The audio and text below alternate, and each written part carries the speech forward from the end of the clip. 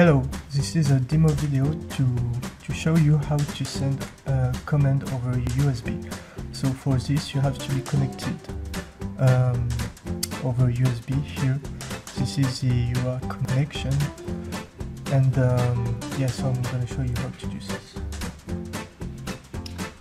Okay, so here we have a terminal to send the UART command.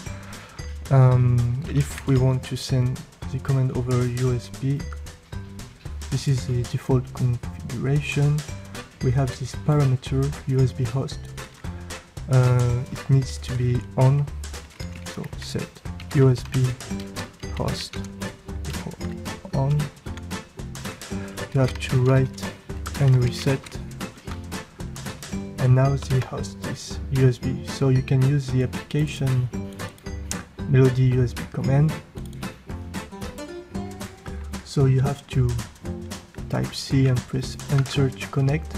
You have a message USB connected so now we can send command just like with UART so for example status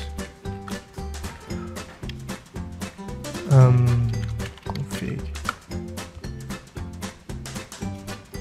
So yeah we can see that here USB host is on. We can switch back to UART so let's type USB host equal off right and reset. So we are disconnected here. And now we can send command over UART